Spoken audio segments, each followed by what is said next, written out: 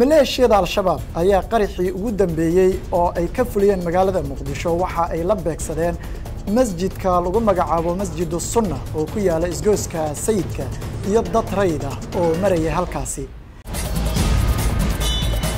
Dhaqanada kooxaha al-shabaab waxaa ka mid ah in dadka ay ku beegsadaan masaajidda dhexdooda. Haddaba faallo arrintaasi ku saabsan kana turjumaysa dhaqankooda xun ayaa barnaamijka ku soo qaadan doonaa horjooge ajanabi ah oo ka barbar dagaalamayay al-shabaab oo lagu dilay gobolka hiiraan. Ciidamada xoogga dalka soomaaliya oo howlgallo lagu baacsanayo maleeshiyadaasi ka wada gobolka gado gaar ahaan aagga degmada baardheere barnaamijka sidoo kale waxaan ku soo qaadan doonaa xubnihii aad inooga barateen oo ay ka mid ahayd xubintii tiirarka sharta iyo sharwade sidoo kale maxaa ku xasuusataa al-shabaab iyo xubinta martida ayaa qayb ka noqon doona barnaamijka haddii uu alla idmo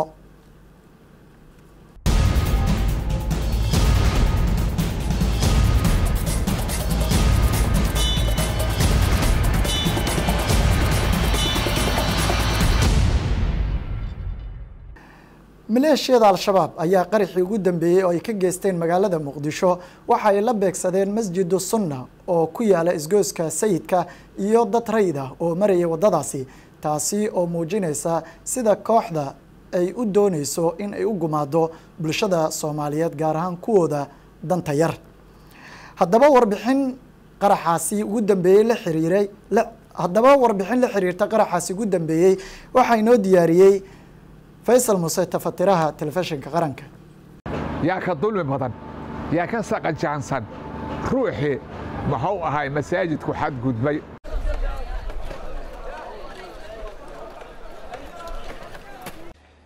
dagaalka al-shabaab ayaa u muuqda mid u xubsiibta duuminta goobaha cibaadada. Haddii si kale loo dhigana la dagaalanka kitaabka alleh masaajidka sunna oo ku yaalla meel ku dhow isgoyska sayidka ee magaalada muqdisho sabtidii la soo dhaafee ayaa iyadoo loo taagan yahay salaadii duhur ee muslimiinta ku waajibtay waxay ku dumiyeen qarax kuna laayeen dadkii halkaas ku cibaadaysanayay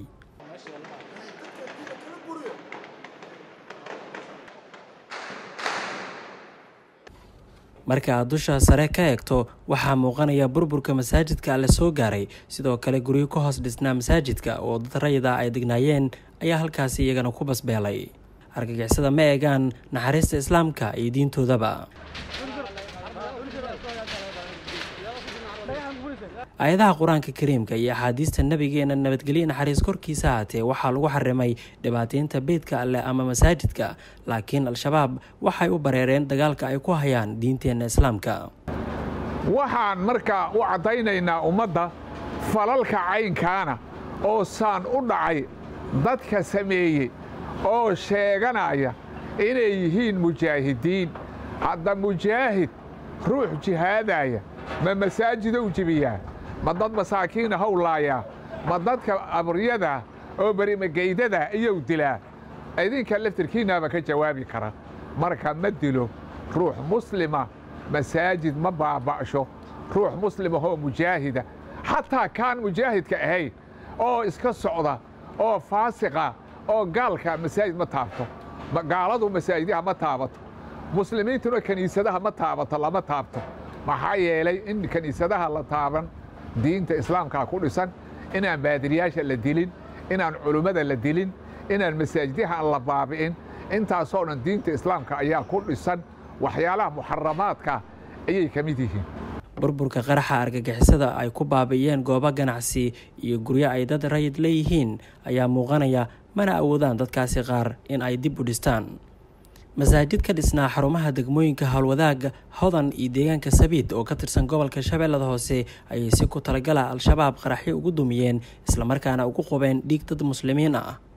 Dhammaadkii bishii ramadaan ee la soo dhaafay lamadoon soomaaliyeed oo ku jira ictikaaf islamarkaana aqrinaya qur'aanka eebe ayay madaxa ka toogteen xabadda kama reebin oo kitaabka qur'aankana waa ay la dhaceen argagixisada al-shabaab ma jihaadiyiin baa mase diinla dirar soo ifbaxday oo u baahan in laga difaaco diinteenna raxmadda u taagan. Maleeshiyada argagixisada ee al-shabaab ayaa caado ka dhigatay dhibaateynta shacabka iyo bartilmaameedsiga goobaha rayidka ku badan yahay masaajida eeba lagu caabudo iyo meeradaha ganacsiga ciidamada ammaanka qaranka ayaa shalay gacanta ku dhigay ninkan oo ka tirsan argagixisada oo waday gaari ku qarxay kilomitir afar kaas oo dhaawac uu ka soo gaaray qaraxii uu la damacsanaa shacbiga. Xubintan argagixisada ka tirsan ayaa dhaawaciisa la geeyay cisbitaalka si loo daweeyo. Argagixisada al-shabaab ayaa dadaal badan waxay ku bixinayaan leynta shacabka soomaaliyeed balse dowladda soomaaliyeed waxay ku dadaalaysaa daryeelka shacabka iyo xitaa kuwa la marin habaabiyey ee shacabkooda leynaya iyada oo dareensan mas'uuliyadda ka saaran badbaadinta shacabka iyo kuwa ay lumiyeen argagixisadu ee iyaga oo aan difaaci karin waxay u dagaalamayaan leynaya shacabkooda. Dhanka kale wararka ka imaanaya gobolka hiiraan ayaa sheegaya in gobolkaasi ay ku dagaalameen maleeshiyada al-shabaab iyo sidoo kale dadka deegaanka ah dagaalkaasi ayaa waxaa lagu dilay horjoogo sare oo ajnabi ah oo ka tirsanaa kooxda. Mid ka mida dadka deegaanka ee is abaabulay ayaa waxaa u sheegay warbaahinta qaranka in horjoogahaasi uu caan ka ahaa deegaanka islamarkaana ay caannimadaasi u sahashay in ay si gaara u beegsadaan. Horjoogahani ku geeriyooday gobolka hiiraan ee sababsaday gacanta dadka deegaanka ayaa uga yimid dalkiisa sidii uu u dhibaateyn lahaa bulshada soomaaliyeed. Weli waxaad daawanaysaan barnaamijka xogta xagjirka maleeshiyada al-shabaab ee ka been sheegaya diinta islaamka ayaa waxaa dhaqanadooda ka mid ah in dadka ay ku beegsadaan gudaha masaajidda taasi oo muujinaysa sida ay uga been sheegayaan diinta islaamka. Waxaa faallo arrintaasi ku saabsan inoo diyaariyey liibaan cabdi kani waa kitaabkii alleh ee uu akhrinayay allah u naxariistee nabadoon ibraahim cariif oo shalay galab masjid ku yaalla xaafadda juungal ay ku dhex toogteen argagixisada al-shabaab ee ayaanka daran. Waa kitaabkii alleh iyo aayadihii qur'aanka oo ay rasaas la dhaceen al-shabaab. Laba ka mid a kuwa ugu ayaanka daran khalqiga eebbe ayaa gudaha masjidka ugu soo galay nabadoon cariif oo maalmihii tegay masjidka ugu jiray ictikaaf isagoo maalin kasta akhrin jiray rubuc ka mid a qur'aanka kariimka ah mid ka mid ah ayaa isku dayey inuu toogto marxuumka laakiin waxa u dhici weysay bastooladii u watay.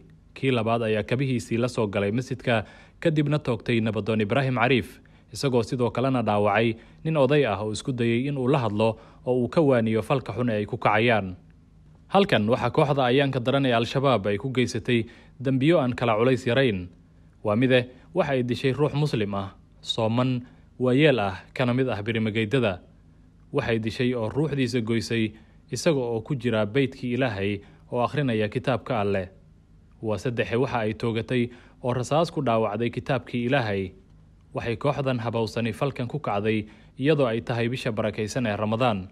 Intaas oo dhanna waxaa ka sii daran inay ku faantay oo aaminsan tahay in xumaanta intaas la eg alle loogu dhowaanayo. Maalinba maalinta ka dambaysa al-shabaab waxa ay ku kacayaan wax kasta oo islaam ku xarimay waxayna weerar ku yihiin wax kasta oo xitaa uu ku jiro kitaabka ilaahay. Gobolka gado gaar ahaan aagga degmada baardheere waxaa ka bilowday howlgallo ciidanka xoogga dalka soomaaliya ay ku baacsanayaan kooxda al-shabaab waxaana howlgalladii ugu dambeeyey ay ciidamada kula wareegeen deegaano hor leh. Wariyaha iyaga maxamed macalin ayaa inoo soo diray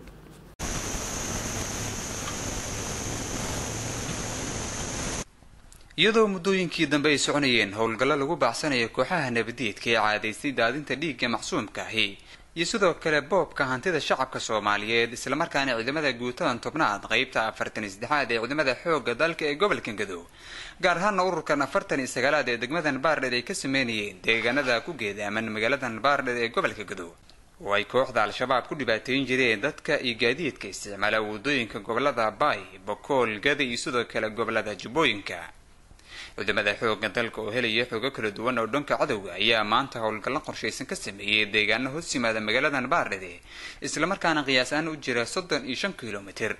Waxaana deegaanadan al-shabaab ay ku dhibaateyn jireen dadka shacabka soomaaliyeed ee aan waxba galabsan. Jade iyo baay waa webiga labadiisa dhinac. Taliyaha ururka afartan iyo sagaalaad guutada tobnaad qeybta afartan iyo saddexaad ee ciidamada xoogga dalka ee gobolkan gadow dhamme cali maxamed xasan ayaa warbaahinta faahfaahin ka siiyey guulaha ay ka soo gaareen weeraradii ugu dambeeyay kooxda al-shabaab lagu qaaday iyo sidoo kale deegaanada ay ciidamada la wareegeen. Sidaad u ogtihiinba howlgalladii ka socday guud ahaan geeyiga soomaaliya ee looga cerebtirahayay nabadiidka soomaaliya. Gaar ahaan tobankii dambe ee soonka u dambeysay howlihii baarreer aan ka wadnay dhanka koonfurta ayaan maanta u dhaqaaqnay. Annagoo hore uga soo howlgalnay dhanka mataqaanaa qorax dhankan tukud iyo mataqaanaa dhanka qorax u dhac gede iyo bay waa webiga labadiisa dhinac. Dadka sidaasa muhiimadda u yaqaanaan waa webiga labadiisa dhinacaan ka howlgalnay maanta waxaa noogu horreysay bakal iyo mataana ayaa noogu horreysay iyo buulweyn bakal iyo mataanaha waxaa weye bakal waxaa waye waa meesha ay deganaayeen la dagaalanka argagixisada dagaal loogu golleeyaho gaar ahaan looga ciribtanayo dalka giy ahaan dalka soomaaliya ee horey ugu dhawaaqay madaxweynaha soomaaliya. Ayuu ka mid yahay howlgalka aan ku jirno. Ilaahay baa mahad iska leh saakii markaan tagnay magaalada tuulada la yidhahda buulweyn iyo bakal markaan tagnay shacabkii si gacmo furan leh ay nagu soo dhoweeyeen.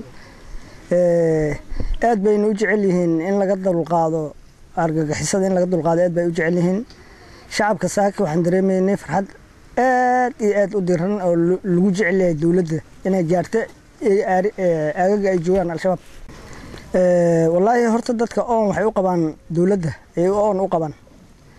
Sidaa darteed muddo badan ayay mataqaanaa hantidii bay ka qaadanayaan waxa ay haysteen bay ka qaadanayaan si awood lahayn uga qaadanayaan. Sidaa darteed in laga dulqaado aad bay u jecel yihiin saaka waxay dareemayeen in ay dowladda soomaaliya ay gaartay aagagii ugu horreeyey ee ay deganaayeen ururka al-shabaab cumar idruus axmed warbaahinta qaranka magaaladan baardhede ee gobolka gado.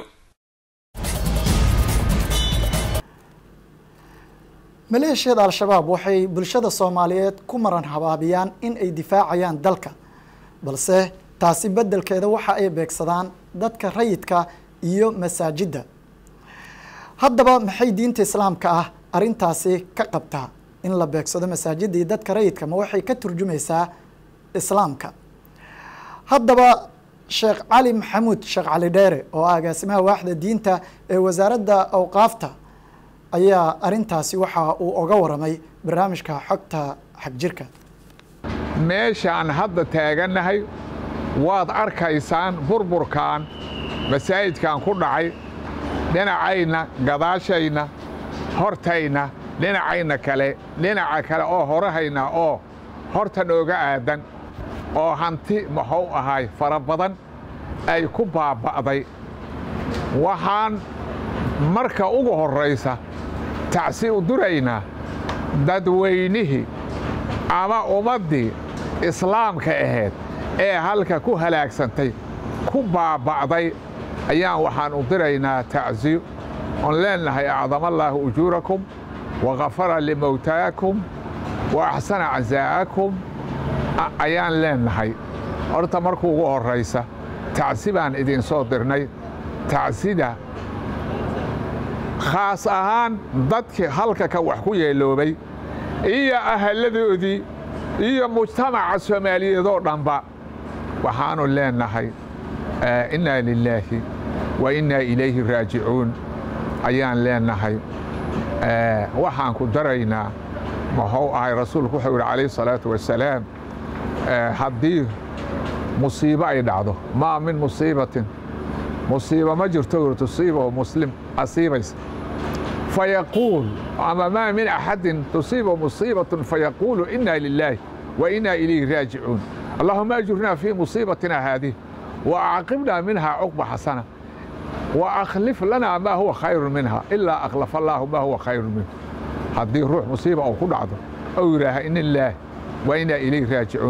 ilaahayoo musiibadan naga ajir sii hadduu yidhaaho ilaahay waa ka ajir siiyaa buuri musiibadi dhacdayou ka ajir siihaa marka waxaan rabnaa inaadan iloobinina dadkii ay wax gaareen dhammaan bay waxna gaareen.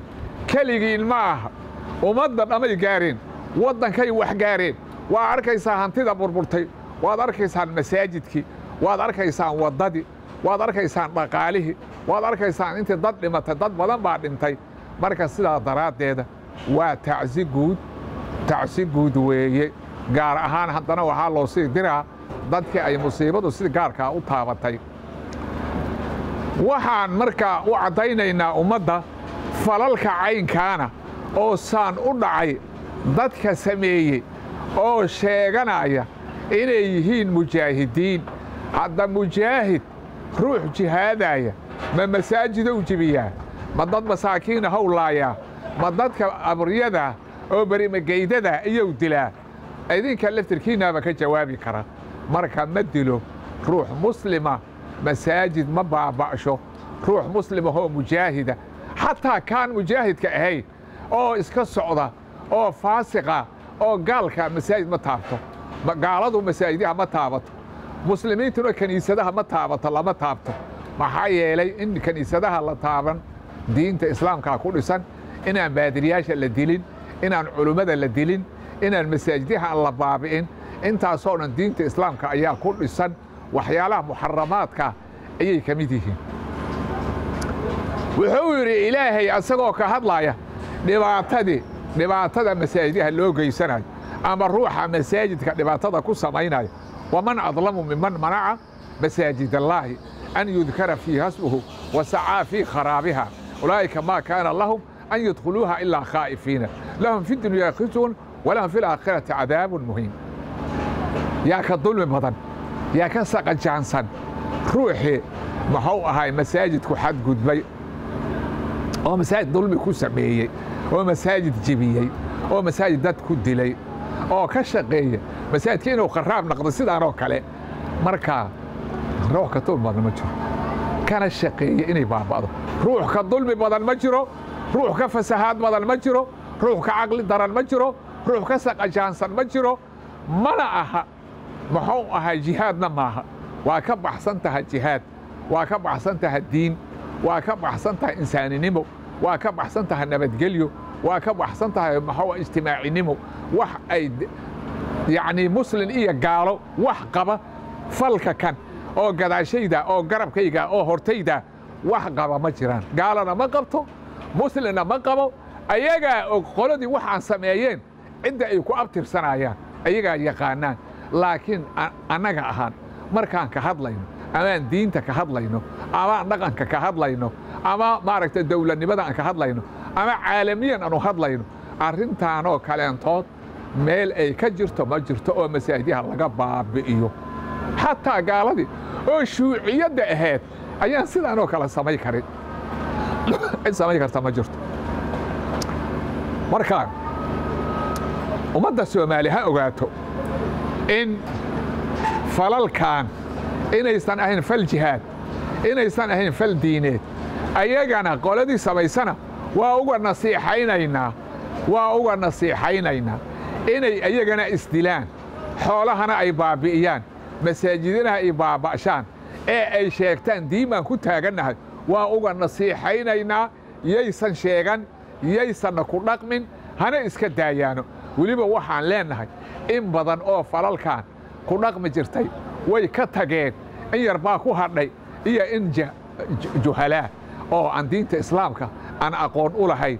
Intii diinta islaamka aqoon ulanaha iska dayso intii jahalaana oo juhaalana dib ha uga soo naqdaano fikraddan cariiriga ah oo meel ay ka hirgelayso meel ay waafaqsan tahay aysan jirin cid ku dhaqanta aysan jirin ha ka noqdaano ha ka tagaano. Ummadda soomaalina maxuu ha ogaato. Ummadda islaamka ha ogaato. Falalkan ha ogaadaano. Inayna wax diinku saan leh ama diinku raad leh aysan ahayn. Ma aqaano aniga hadda cid sheegatay iyo cid aan sheegan ma kala sheegaayi marka laakiin ciddii sheegatana sax maaha ciddii la shibanna sax ma aha. Falalkan waa falal guracan oon diinta islaamka aan raad ku lahayn oon nabadgelyada raad ku lahayn oo wada noolaashada aan rabad ku lahayn dowladnimada aan qayb ku lahayn. Wax ay nidaama ay waafaqsan tahay ma jirto. Waa mahadsantihiin.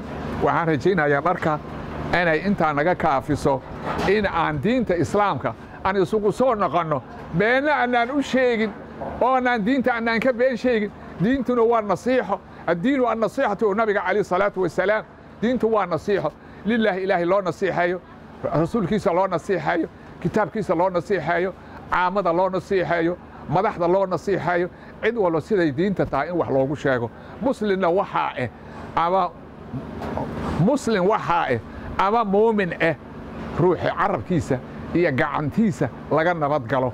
Marka hadalkaygana waxaan ku soo almuslimu man salima almuslimuuna min lisaanihi wayadi